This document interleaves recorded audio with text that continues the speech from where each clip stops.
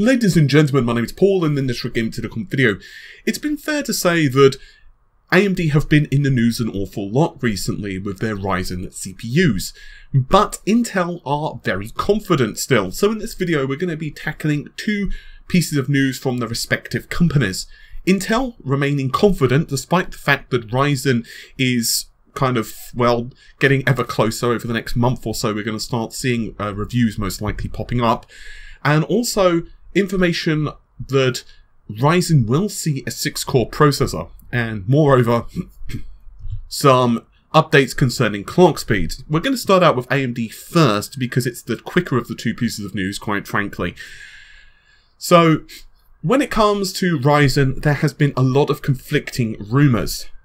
The no 6 core rumours originally started that um, we instead would have an 8 core, 8, uh, 16 thread model, an 8 core 8 thread model, and finally a 4 core uh, 8 thread model. However, more information popped up from Canard PC, who of course were the folks who managed to get an early engineering sample and did some reviews and said, no, this isn't necessarily the case. Their sources had told them that there was going to be 5 SKUs available um, with the top end 8 core 16 thread and a slightly lower version of the 8 core 16 thread as well. And all of the other ones we've discussed, however, there would definitely be a 6 core. Now, Canard PC has also restated that. However, another website by the name of IoTech have confirmed through their sources that it is possible to split processors for the Ryzen cores into a 4, 6 and 8 configuration. I'm going to read this out exactly. We have confirmed from our sources that AMD's upcoming Ryzen processors can technically be configured as a 6 core model. It is possible to disable each CPU core separately together with the dedicated level 2 cache from the CCX without affecting the shared level 3 cache. Possible level 3 cache configurations are 1 slash 1 8 megabytes, half which is 4 megabytes or completely disabled. Basic rule is that both CCXs should have similar core, uh, CPU core and level 3 configurations. For example, both could have 3 cores and full 8 megabyte level 3 cache, which would in this case mean that you would have 6 cores, 16 megabytes of level 3 cache. So what does that mean? Well, that actually tells us the complete bloody opposite of what we were saying the other day. The other day, um, a famous overclocker had mentioned that his sources had told him that cores needed to be balanced. So in short, you could have a six core processor. The problem was that you would need to disable two CPU cores on a CCX, whereas now that doesn't seem to be the case. In fact, you can disable just a single CPU core on a CCX, but they need to be split evenly. So in short, you then need exactly the same situation with the second CCX. So in other words, you would need to disable one CPU core on both CCXs because just for those who don't know, there's four cores per CCX. Okay. I can understand possibly how there's some wires being crossed here. Because if you're quickly texting one another or dealing with this in an email or reading this on, you know, Skype or you're talking to someone real quick at a meet, it's possible that, I mean, it's requiring me to actually explain that kind of in depth. And reading out a quote and then explain it. Imagine if you just mentioned that word of mouth and said something along the lines of, um, you know, processors need to be balanced uh, between the CCXs. That could possibly explain a conflict of how that this information is becoming a bit twisted. I'm not saying this is the case at the end of the day, it is just rumours. As you're probably aware, the Kaby Lake processors have launched officially. We've got the 7700K, 7600K, and all of the other different derivatives.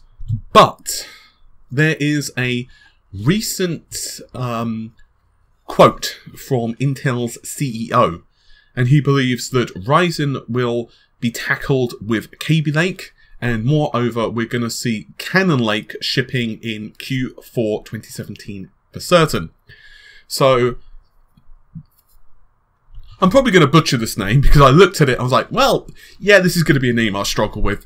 Brian M. Krzanich, hopefully I've pronounced that correctly, said in response to um, an analyst's question I would tell you that we're always looking at this environment and say there's going to be competitive risks in the environment. We're always focused on really our own product roadmap and we're sure we have the highest performance product. So when we look at 2017, we still believe our product roadmap is the best it's ever been. And as we look at Kaby Lake and it really ramps up through 2017 or it just comes out just at the end of 2016, now we'll ramp up with more SKUs and more, a higher performance product as we go into 2017. Then we showed at CES our first working 10 nanometer Cannon Lake product, which we're still planning to ship by the end of the year and really ramp up into 2018. We believe that our roadmap and our leadership will continue to give us the performance the customers want and desire.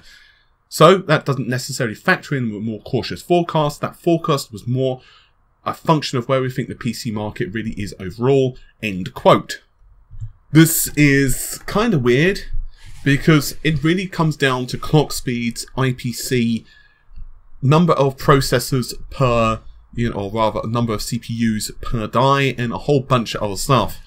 From what I've been told, it looks like Coffee Lake and Cannon Lake essentially are the same architecture, and basically, if we're talking about Cannon Lake, which is the artist formerly known as Skymont. That's S K Y M O N T. It is a die shrink of Kaby Lake.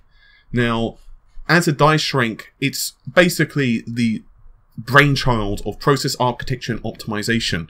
So, what in theory you're going to see, of course, is reduction in power consumption, possibly higher clock speed, and maybe, just maybe, a few IPC changes here or there, although obviously we just don't know.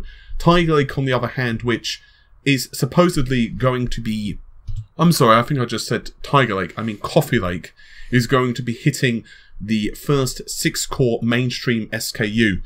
Now, unfortunately, there's not exactly a release date for this thing. It looks like it's going to be 2018, which means that, at least for the mainstream side of things, the only real counter that Intel have are very highly clocked 4 core slash 8 thread CPUs.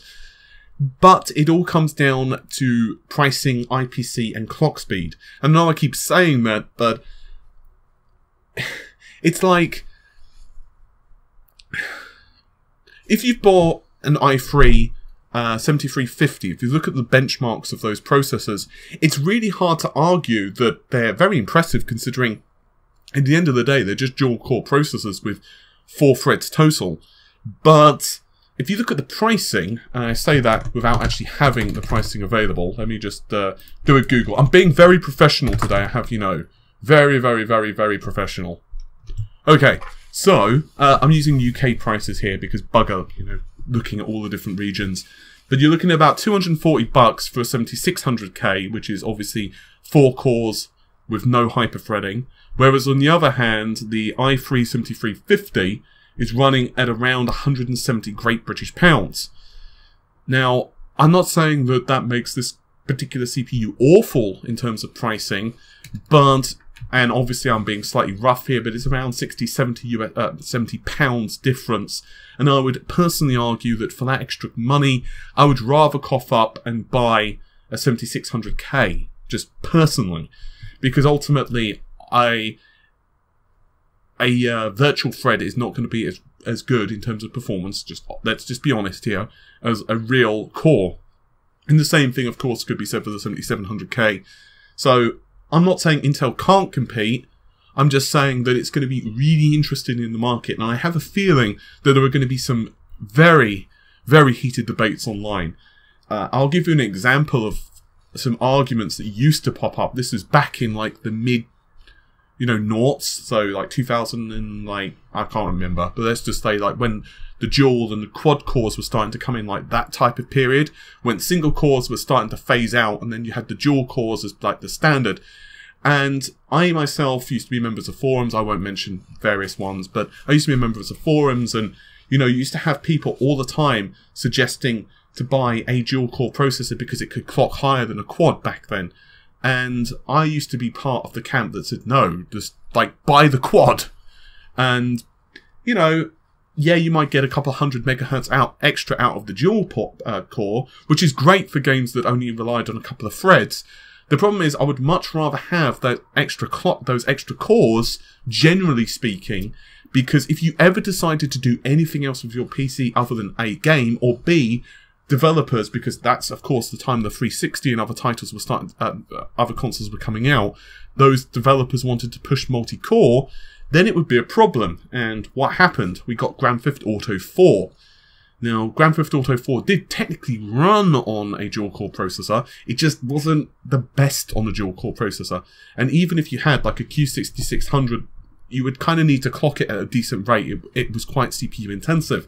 Now, I'm not saying that's going to be the situation when it comes to Kaby Lake and, you know, it just doesn't have the threads or anything like that. I'm just saying that we are, over the next year or two, going to definitely start to see games engines really start pushing DirectX 12 and Vulkan.